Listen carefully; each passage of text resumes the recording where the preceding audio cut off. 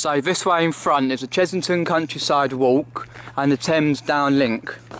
Obviously, over here, we normally have like horses in this field here, but today no, might be the escape one that jumped over, God knows, but we shall see. Oh, as, as I follow along this way, not far from here, uh, in Horton Country Park, there's a riding school on Horton Country Lane, I believe, um, where they, people go to ride horses, breed them, um, look after horses, uh, ride them for competitions, that sort of thing. So, because also I just passed a couple of people on horses. There was three horses and that. So, and they were saying about the escaped horse hashtag escaped horses. oh, oh dear. So they're, they're normally in these two fields uh, across the horses. But obviously, if I went round the other side, I would have gone round right across the back where the big trees are, all the way around. But I didn't. Uh, I didn't on this occasion. I didn't um, want to. I wanted to show you this path here, which is the best path, I believe, to where I want to get to. Anyway.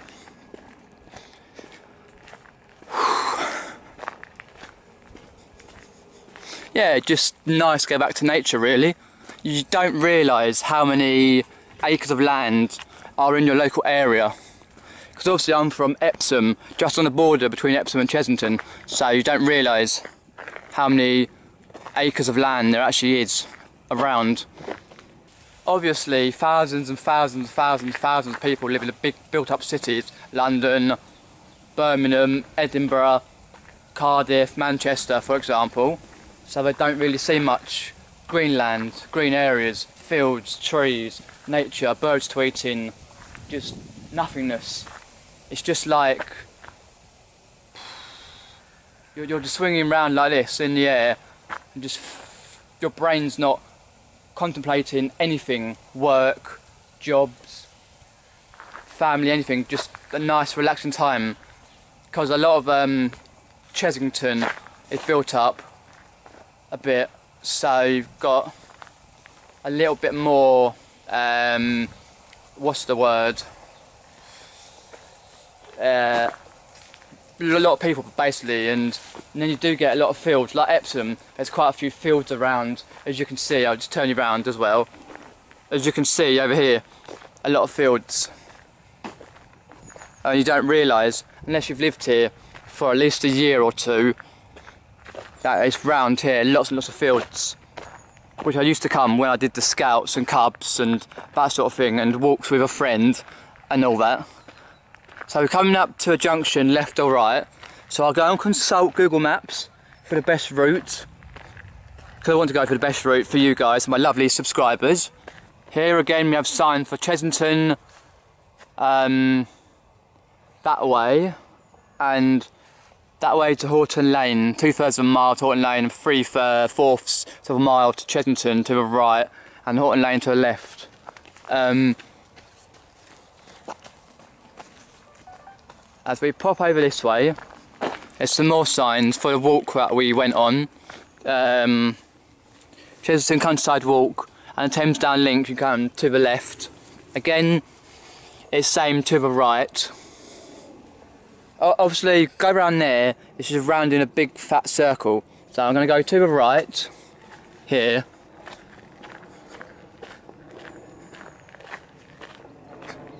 Oh, here we go, lovely because here, again, Chessington right, Horton Lane left, and Mackenzie Way third of a mile.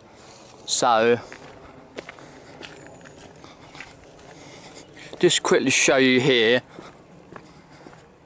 That's right, because Horton Country Park, the top end, I believe, with some animals here. I can remember rightly. Whoops. Try and focus it in. Over there as well. some sheep and, the and that sort of thing. Just zoom in and get some of the animals. The sheep, for example.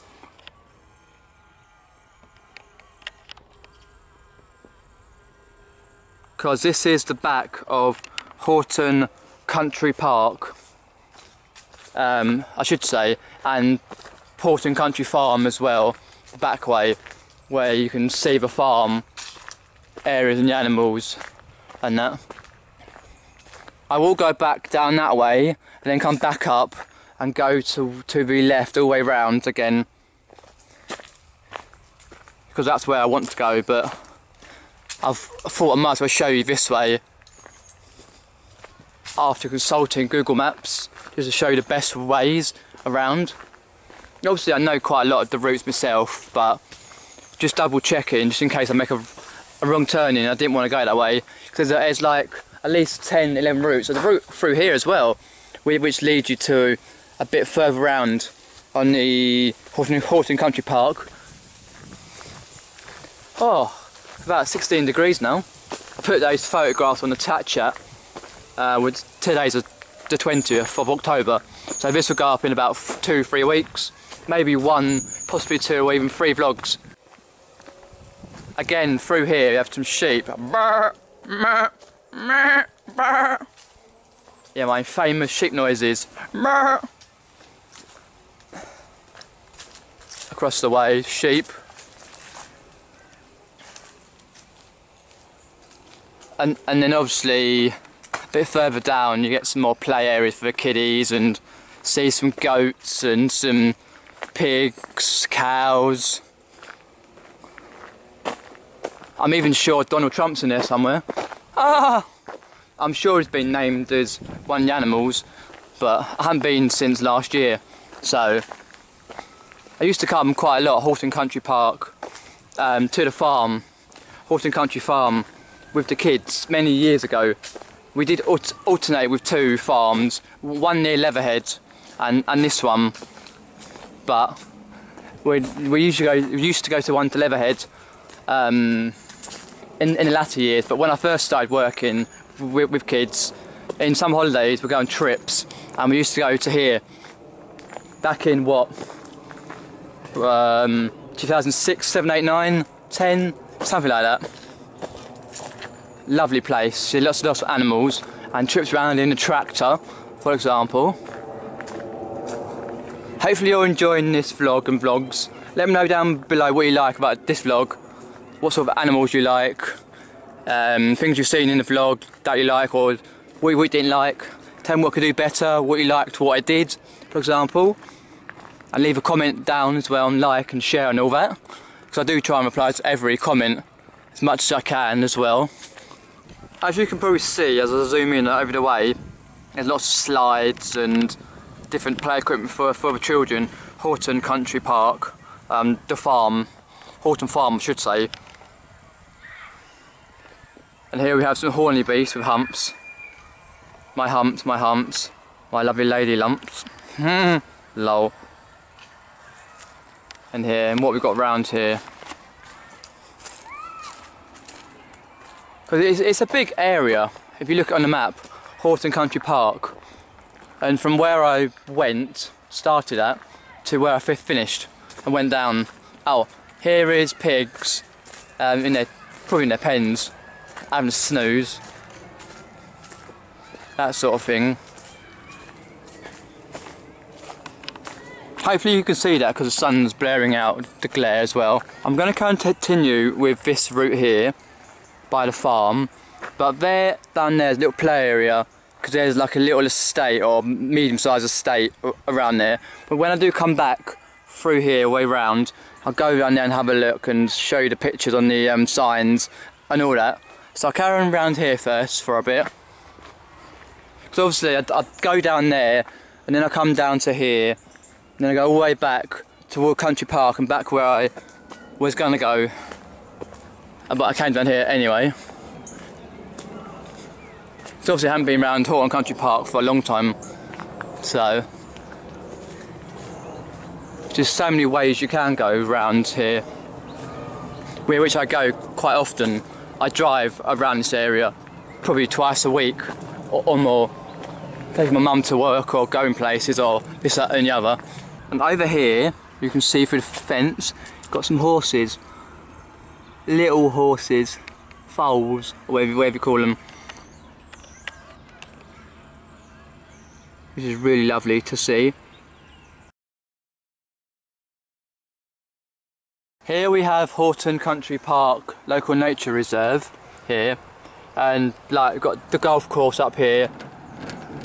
The Chessington Road is there. And, and I live somewhere up here. Then you've got the golf course which you can go round. We are basically here in the red dot.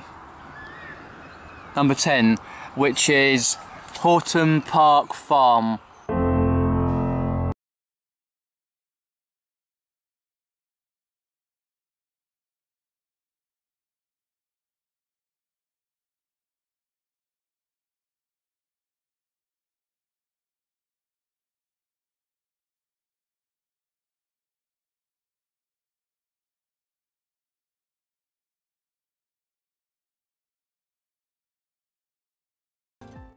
Showing you many of the um, numbers there.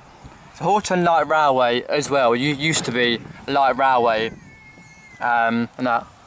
And then you've got the ponds, the woodland, facilities to enjoy countryside walks, horse riding, picnic areas, car parks, web pages, surfaces, tracks, information centre, history of within, you've got the green woodpecker as, as well.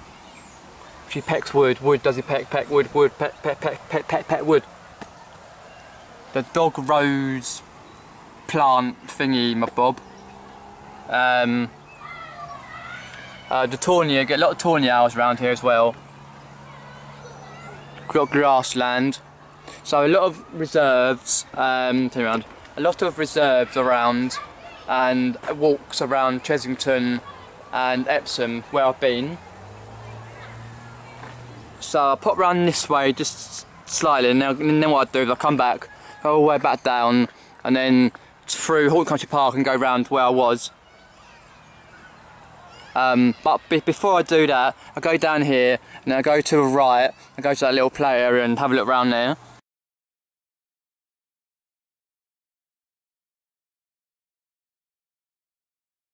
Here in front, where the cars are going, it's called Horton Lane. A lot of roundabouts, five, six, seven roundabouts. You can get it from where I live so it's not far around West Ewell, all that. Horton Golf Club, that way round. I say I go around here about twice a week, three times a week. Drop my mum off to work and picking her up and other places. So I'm just going to pop now to this little um, little estate where there's a charity shop, cheeky charity shop that I've not been to for a while. So I must go into here into this estate.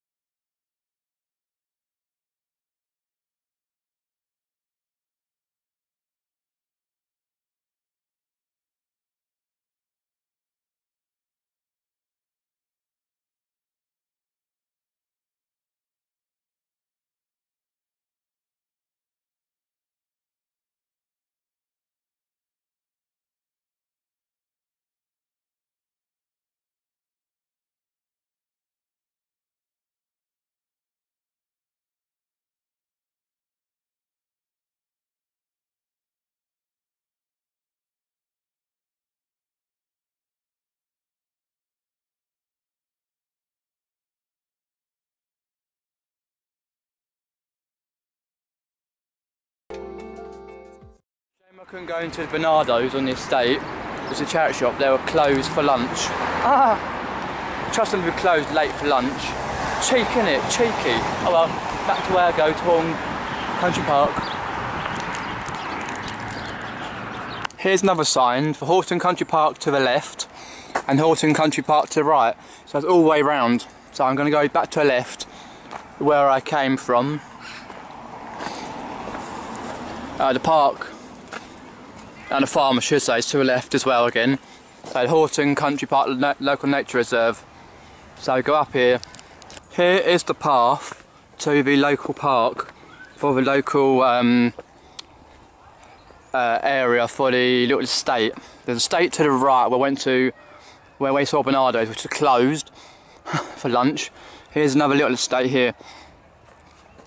Just quickly go through it. Show you around a little bit. It's really good. I don't really come here often. Don't live far myself, but I just know I need to come here because it's usually raining or cold or if it's it is sunny, I'm usually either at home or out somewhere. Just to say, I've worked my way on through the little park area to Clarendon Park. If you're able to see that. Um, Mackenzie Way, Clarendon Park. It's one of about two or three little estates around Epsom that are newly built in the like early 2000s, possibly mid 2000s, something like that. Clarendon Park. Around, it's biggest. I'm not to go round it, but I've been around it before. It's like, like a mini estate sort of thing. So, oh, I'm going to go back where I was, all the way down to Horton Park. Um, oh, ah, yeah. Oh. Because I say, there's so many routes and ways you can go around Epsom, so many things you can see. But I don't think I get time to see all of it that I'd like to see, but I try and see as much as I can. Because obviously I've got to make it back um, for the reseller auction. Obviously it's happened, it's finished now, but time of recording this, on the 20th of October, I've got to make it back for a seller auction, at 8 o'clock. So As you can probably see, I'm walking past the farm again. I've been down to Clarendon Park and the, the um, little estate and stay across the way where the Barnardo's was closed. Stupid Barnardo's. Lol. Oh well, the way it goes. I'll go another day, maybe. And that. So just showing you a few more pictures of the farm. When the sun sets already. 20 past 3. It's setting already. Jesus bang on summer next year. Even though us Brits complain about it quite a lot. Uh, it's, it's quite a long walk. I've done quite a fair bit myself. But a fair bit to, to go. Just coming up the top to um, Horton Country Park where I go, I believe, to the left. But I have to double check that. And round again. Oh, it's been a lovely day. Not thinking about anything really.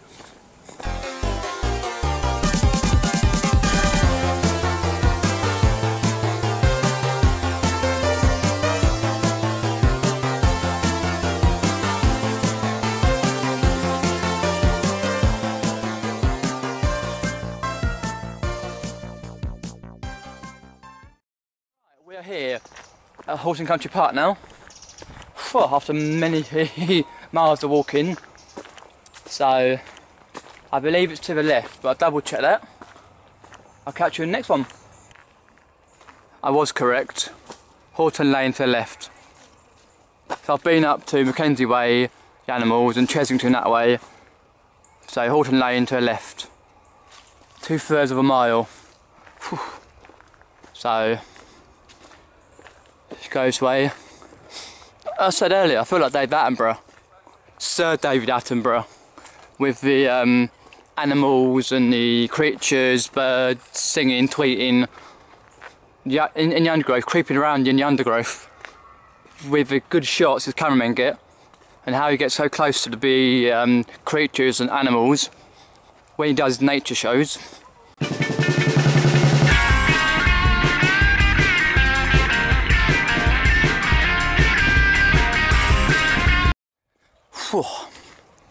Yeah, I say like it's 25 minutes past three, and the sun's now setting. Because obviously we're in autumn, so you know, near enough winter, where the leaves, I say, on the ground, they shred the leaves, and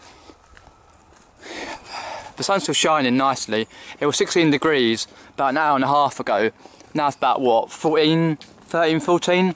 It's, it's going to get quite cold today, but uh, tonight I should say. But oh well.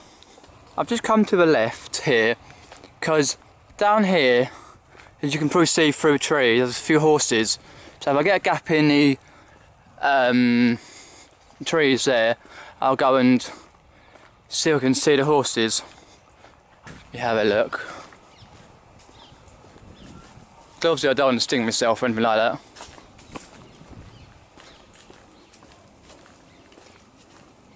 No, I don't think we are going to get a gap.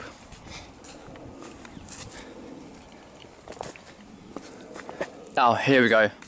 Perfect. Um, I found a gap, gap so I can find the horses. Just zoom into the horses. So obviously a little while ago, a couple jumped over. Obviously got water right at the trough at the top. Some trees, leaves, branches. Oh, lovely creature, I love the creatures. There's one right down there. Horsey! Horsey! Oh well. Nothing you can do about it. They're munching on the food. Do I get to interact with any horses? Find out in the next vlog in part 3.